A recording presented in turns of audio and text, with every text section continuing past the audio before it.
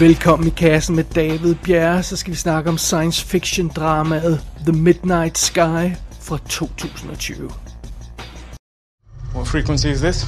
I'm running S, X, and KA, That puts our last contact with mission control at including the control blackout. post blackout. Three weeks. Well, if Mojave goes offline, then Spain or Australia immediately grabs the signal. No gaps. We're not receiving anything. I've taken everything apart. I've rebooted it a dozen times, and nothing works.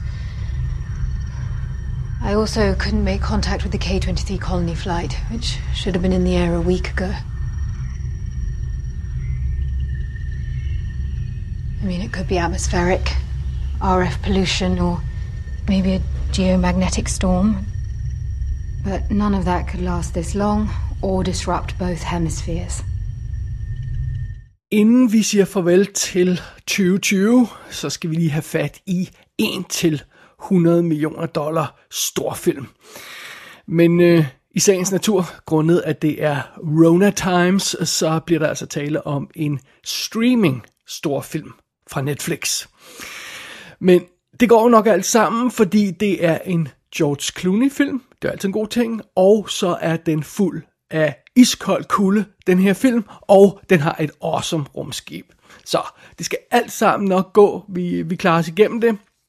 Vi kigger nærmere på The Midnight Sky. Og øh, når vi starter historien her, så får vi at vide, at året er 2049, og der er altså gået noget helt galt på jorden. En eller anden forfærdelig begivenhed har ødelagt det meste af planeten. Øh, vi, vi får ikke alle detaljerne, i hvert fald ikke til at starte med, og nu spreder der sig en, en dødbringende stråling over hele kloden, sådan stille og roligt, og menneskeheden har basically kun få uger tilbage at leve i. Altså før planeten bliver gjort u- øh, ubeboelig. Så de fleste søger tilflugt under jorden, øh, selvom det åbenbart heller ikke rigtigt vil være godt nok. Øh, men øh, vores held i den her historie, Dr. Augustine Lofthouse, han gider ikke at gå under jorden, han gider ikke at redde sig selv, fordi han er allerede dødelig syg. Så hvad er pointen? Han kan lige så godt bare ride it out, som man siger så smukt på dansk. Øhm, han har sådan set bare tænkt sig, den her Dr. Augustin, han har tænkt sig at blive hængende i, øh, i det nu forladte observatorium på Nordpolen, som han har været i, og, og øh, ja, der vil han så tilbringe sine sidste uger, øh, mens, han er, ja, mens menneskeheden dør omkring ham. Meget dramatisk. Men så at der sker to ting for den her isolerede herre, der får ham til at ændre planer. For det første, så opdager han en lille pige i det her observatorium, der er blevet efterladt, da alle andre evakuerede. Den lille pige Iris, hun kan ikke tale, men ellers virker hun sådan set frisk nok. Så pludselig må øh, vores øh, gamle syge Dr. Augustin her, han må tage sig af den her lille pige. Og for det andet, Øh, det, den anden ting, der går op for Dr. Øh, Augustin, det er, når han, tje- han tjekker status på alle de rummissioner, som menneskeheden sådan har gang i. Og de er alle sammen decommissioned, de er alle sammen lukket ned for dem, der er ikke noget der. En af dem er stadigvæk aktiv. En rummission er stadigvæk aktiv. Det er Ether-missionen. Og de er på vej øh, tilbage fra at have undersøgt en øh, måne, der hedder K23. Det er en af Jupiters måner. Og missionen, øh, formålet med- missionen var at undersøge, om den planet er beboelig. Og nu er rumskibet og besætningen på vej tilbage til jorden med, med øh, gode eller dårlige nyheder om den her planet eller den her måne. Men de har altså ingen anelse om, hvad der, øh, hvad der, hvad der sker på jorden. Øh, øh, fordi de har ikke kunne få kontakt med nogen, for der er ikke nogen at få kontakt med. Øh, så, øh, så, øh, så det er jo ikke så godt. Øh, der er en person dog, der kunne advare dem om, at de altså ikke skal lande på jorden, og det er jo Augustin. Og da det går op for ham, så gør han simpelthen alt for at, for at få fat i dem. Så mens øh, Ether-rumskibets besætning desperat forsøger at kont- få kontakt med jorden, så prøver Augustin altså også at få kontakt med dem og advare dem om, at deres hjemplanet nu essentielt er u- ubeboelig. Så det er simpelthen plottet i The Midnight Sky. Og filmen, den er som sagt instrueret, eller det ved jeg ikke, fik jeg sagt, den rent faktisk var instrueret af George Clooney, men det er den. øh, og og øhm, han har jo øh, lidt over en håndfuld film bag sig som instruktør. Confessions of a Dangerous øh, Mind var hans debut. Good Night and Good Luck var jo fremragende. Han har ikke rigtig kunne matche succesen med den film efter. Men han har lavet sådan noget som Leatherheads, The Ides of March, uh, The Monuments Men og Suburbicon, og nu denne her. Så hans instruktørkarriere er indtil videre toppet med, med Good Night and Good Luck i 2005. Men so be it. Og i hovedrollen som Augustine, der har vi George Clooney. han har hyret sig selv i hovedrollen, og det er jo fint nok. Han laver rent faktisk ikke så forfærdeligt meget skuespillerarbejde mere. Øhm, øh, vi har dog haft ham i kassen et par gange. Han, han spiller naturligvis en af de centrale roller i Gravity. Han var med i Tomorrowland, og øh, jeg tror, den seneste sådan, centrale storfilms hovedrolle, han har haft, det, det er Money Monster, og den har vi jo også anmeldt her i kassen. Der var han super, super cool i.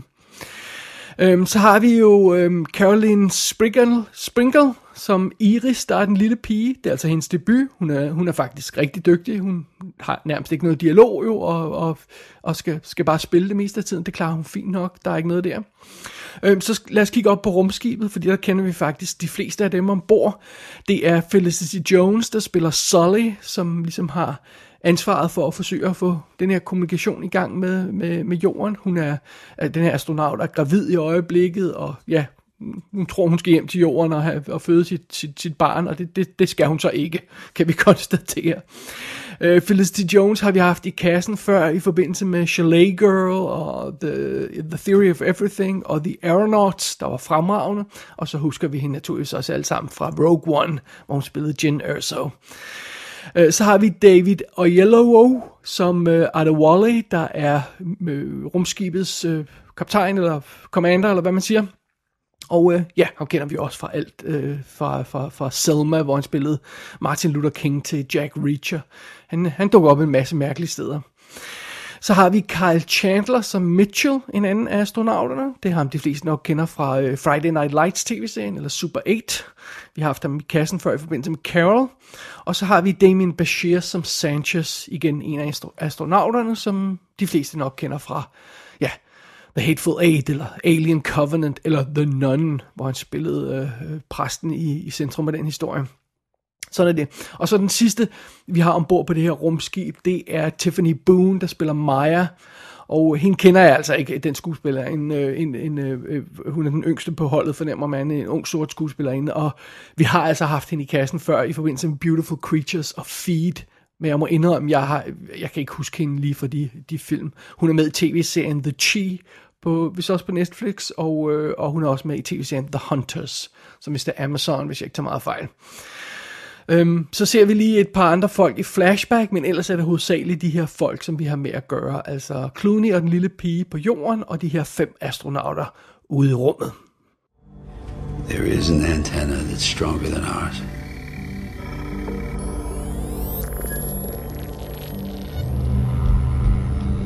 It's up north.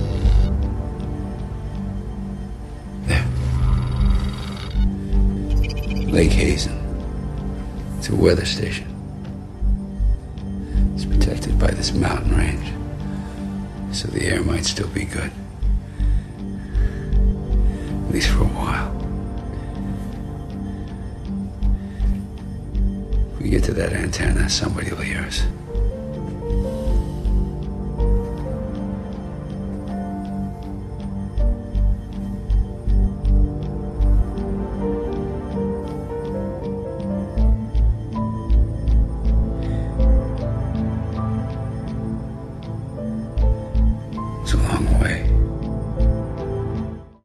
Historien i The Midnight Sky kunne man jo egentlig gøre en masse forskellige ting med. Man kunne, man kunne lave det til en science fiction thriller, eller en stor actionfilm, eller drama. Og, ja, man kunne, man kunne gøre en masse forskellige ting med den.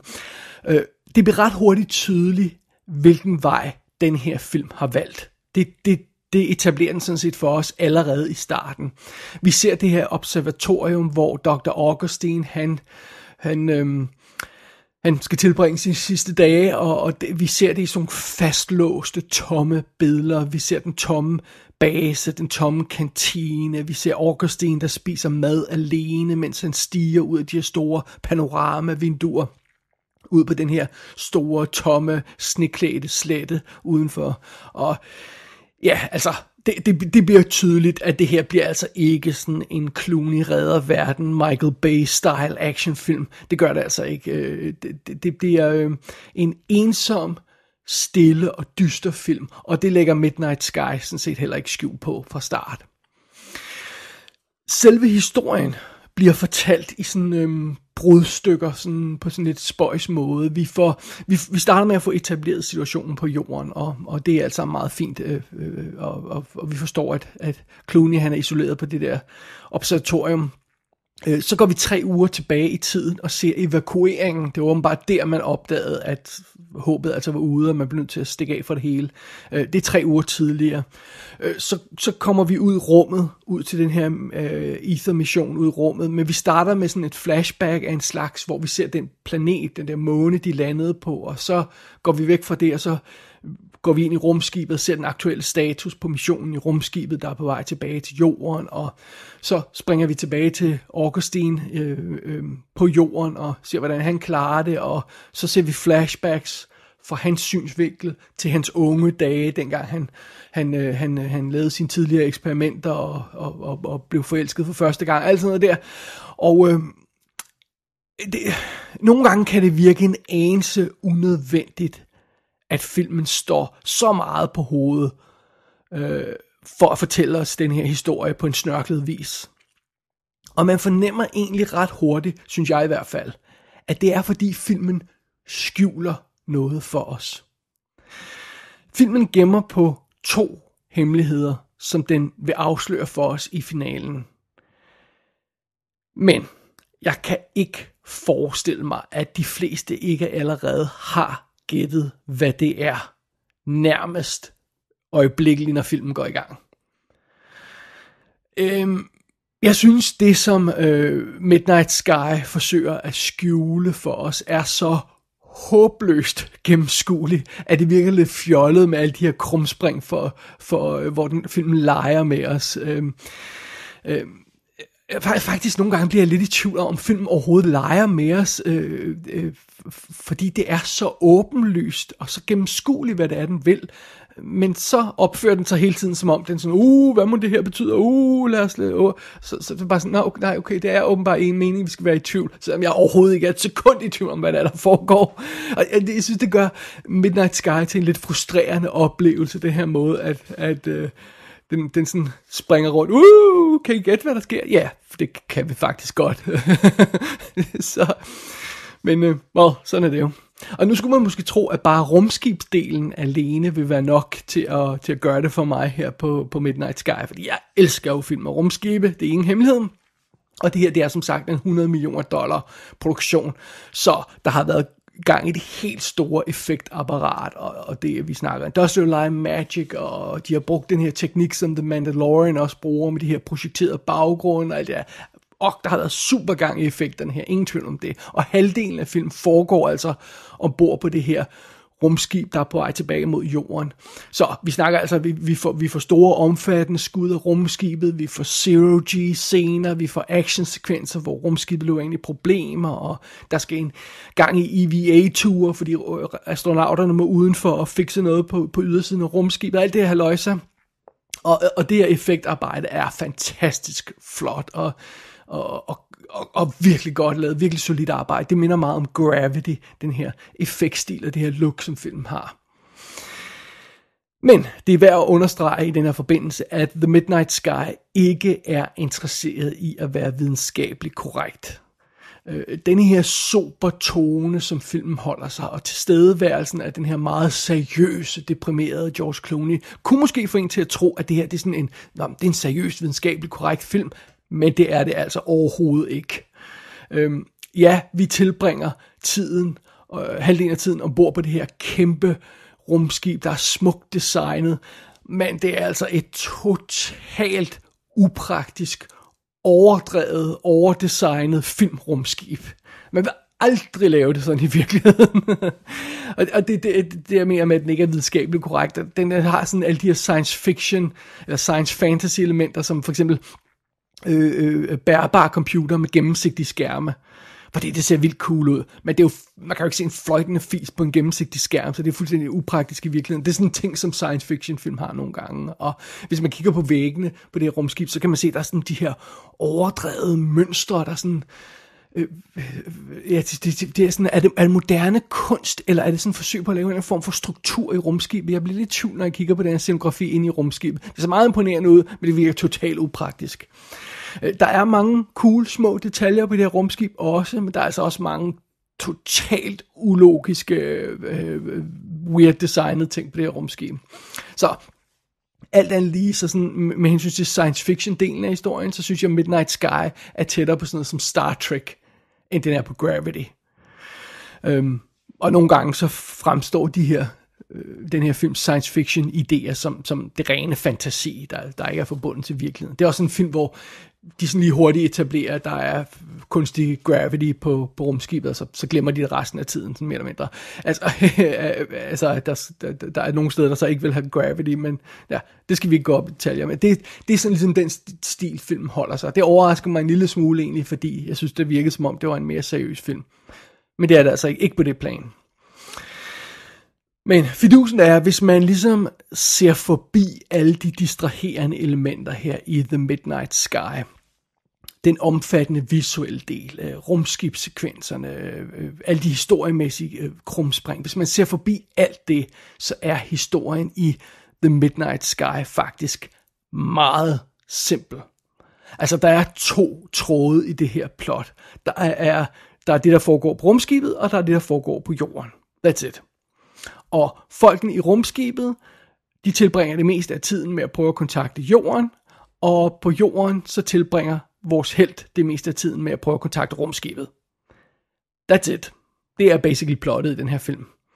Og øhm, øh, besætningen ombord på rumskibet, de, de, øhm, de, de, de, de, de har jo kurs mod jorden, og, og, og de, de, de kører bare, så, kører, skulle jeg sige, så de flyver bare så hurtigt, som de nu kan, og det er det, det, de gør, og de må sådan set bare vente på at nå frem til jorden. Og, og, og de må vente på at kontakte hvem det nu er, der er tilbage på jorden. De ved ikke noget om situationen på jorden nemlig. Og, øh, og øh, på jorden så, så øh, øh har, har Augustin ikke rigtig en, en stærk nok sender til at få fat i dem, så han må også vente på, at de kommer ind fra rækkevidde. Og øh, han venter jo sammen med den her lille pige, og hun kan ikke tale, og og, og imens han venter på at få kontakt med rumskibet, så venter han også bare på at dø. Og, øh, øh, så, øhm, øh, på et tidspunkt så må Augustin tage fra det her øh, observatorium, hvor han er på. Han må tage mod en, en, øh, mod en anden base med en stærkere sender, og så må han gå ud på en farefuld rejse sammen med den her lille pige. Og, øh, men, men når de når frem, så vil målet for den her rejse stadigvæk bare være at, at vente på at kunne kontakte rumskibet. Så øh, altså, det er ikke bare et simpelt plot den her film øh, byder på. Det, det er decideret et stillestående plot. En stor del af tiden i hvert fald der sker ikke rigtig så meget i den her film. Og øh, øh, øh den kaster nogle gange lidt skros i maskineriet for karaktererne. Den forsøger at distrahere os som publikum lidt. Øh, de op, oplever de her forskellige kriser på rumskibet, som sagt. Og øh, igen det her med Augustin, han må tage øh, til en anden base undervejs midt i handlingen. Og øh, øh, det, er et, det, det er måske nok et eller andet sted et hederligt forsøg på at skabe lidt mere drive og dynamik i filmen, men, men det er som om, den hele tiden vender tilbage til den her streg på midten af vejen, som er, der ventes. Der ventes på det ene, og der ventes på det andet. Der ventes en hel masse i den her film. Og, og oven i købet, så det drama, der ligesom udspiller sig undervejs, som, som, som tager lidt detours fra al den her venten, det drama, der udspiller sig der, det føles ret episodisk og hvis jeg må have lov til at sige, en lille smule kunstigt opskroet nogle gange. Øhm, og det gør faktisk bare det centrale venteplot endnu mere åbenlyst på en eller anden spøjs måde. Hvis jeg skal være helt ærlig, The Midnight Sky bliver ret hurtigt en lille smule kedelig. Øh, den, den gør en masse imponerende armbevægelser for at skjule, hvad den har gang i, og, og, og, øh, og det, det er selvfølgelig, hvad det er, men når først man har gennemskuet, hvad det er, den egentlig er ude på, så synes jeg egentlig, at den her historie er ret kedelig, hvis jeg skal være helt ærlig. Øh, jeg forestiller mig næsten, at man kunne fortælle essentielt samme historie, måske ovenkøbet mere effektivt, i sådan en 30 minutter lang Outer Limits episode. Så kunne man skære det hele ind til benet og få et sådan kort, præcis fokus for historien. Det er ikke det, som The Midnight Sky har lige nu. Men en ting er, at den har en simpel, lidt småkedelig historie. Det jeg i virkeligheden synes er det største problem for The Midnight Sky, det er, at den er så kold, som den er. Og nej, ikke Nordpolen kold, fordi det, det kan vi jo godt lide. Vi elsker øh, film med, med sne og is og kulde og sådan noget. Det er alt sammen meget fint. Nej, jeg mener, at den er følelsesmæssigt kold. Altså på jorden, der har vi den her døende, grå Clooney, øh, som bare vælter rundt og, og små hoster lidt her og der, og han får aldrig rigtig skabt en følelsesmæssig forbindelse til den her lille pige, som han pludselig skal tage sig af. Øh, så det virker sådan lidt koldt og, og, og, og ikke sådan nærværende rigtigt. Og i rummet har vi de her øh, astronauter, de her fem astronauter, og de får, de får slet, slet ikke gjort deres karakterer til sådan nogle levende, varmblodede figurer, vi kan holde af på et eller andet plan. Der er ovenikøbet to af de her astronauter, der danner par. Og seriøst, I'm not kidding, hvis man går ud og tager en kop kaffe mens den scene udspiller sig, hvor det bliver afsløret, at de er et par, og så kommer tilbage igen, så tror jeg ikke, man kan gennemskue, hvem er, det der, hvem er de fem, der er par. Fordi det, det, det, det, der er simpelthen så lidt omsorg og kærlighed mellem de figurer, som skal forestille sig at være par, at, at, at, at det ikke er sådan umiddelbart gennemskueligt. Øh, øh, altså, der er ingen, der er ingen øh, der er ingen varme i nogen af karaktererne i den her film, og der er heller ikke noget passion. Og det værste er, at det betyder så, at der heller ikke rigtig er nogen fornemmelse af tab, eller det her med, at menneskehedens fremtid står på spil. Øh, den eneste følelse, som den her film har held med at ramme plet på, det er den her deprimerende følelse over, nå, nu er det hele sgu nok overstået, og snart dør Clooney. Altså, der mangler virkelig noget hjerte, noget, noget drive og noget passion i den her film. Øhm, og jeg tror også, det er derfor, at den aldrig rigtig kommer til at virke rent dramatisk, ud over den simple historie. Det er det her med, man føler aldrig rigtigt, at der er noget levende på spil her.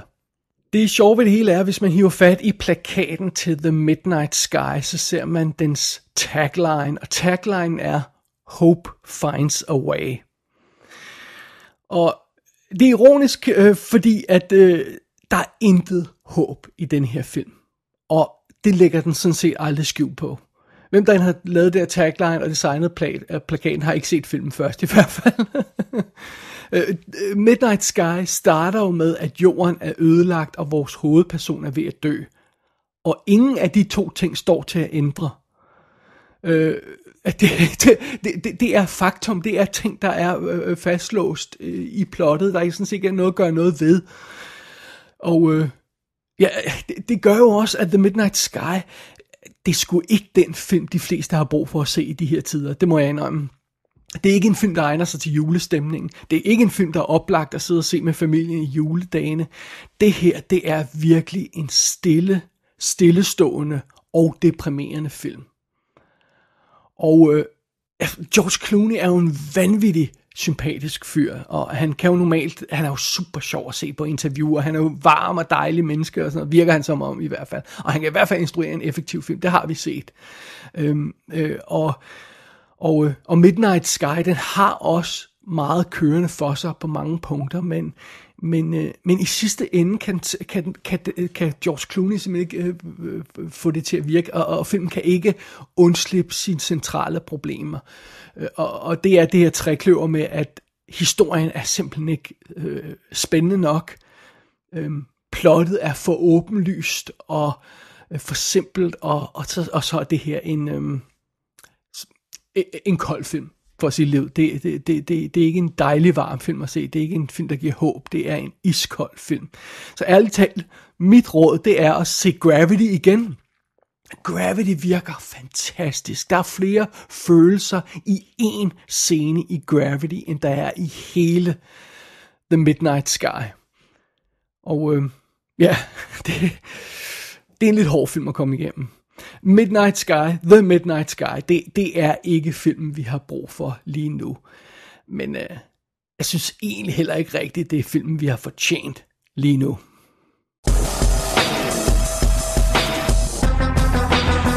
The Midnight Sky kan streames på Netflix i øjeblikket. Filmen er produceret for Netflix, så der er ingen grund til at tro, at den kommer på fysiske skiver. Gå ind på ikassenshow.dk for at se billeder fra filmen. Der kan du også abonnere på dette show og sende besked til undertegnet. Du har lyttet til I Kassen med David Bjerre.